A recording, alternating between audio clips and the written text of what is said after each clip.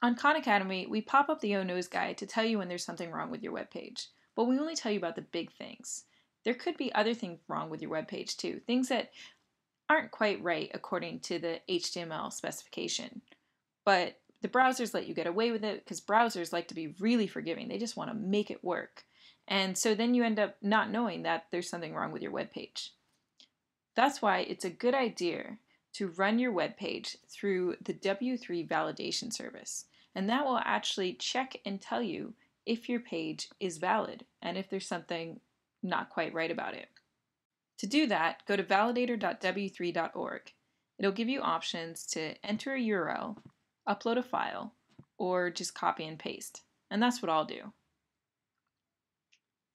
I'll take the most recent web page that I was showing in a talk through and paste it in here and then check.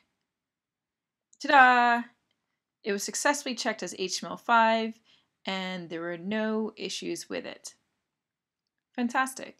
Let's try one more. This is our HTML internal links example. I'm going to paste this in here and check. Uh-oh, there was one error, two warnings. Let's go down. It says that an image element must have an alt attribute. Uh-oh, this is a classic thing to forget is that alt attribute because we see the images but not everybody does. So what I should do is go back into that HTML and add the alt attribute.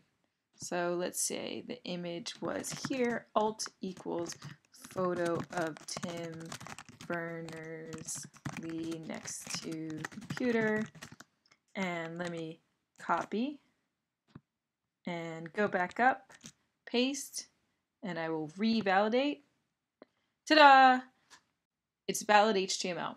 When possible, you should be trying to make web pages that are valid HTML because that way you can have a lot more confidence that the browser is going to interpret them exactly like you expect all the time.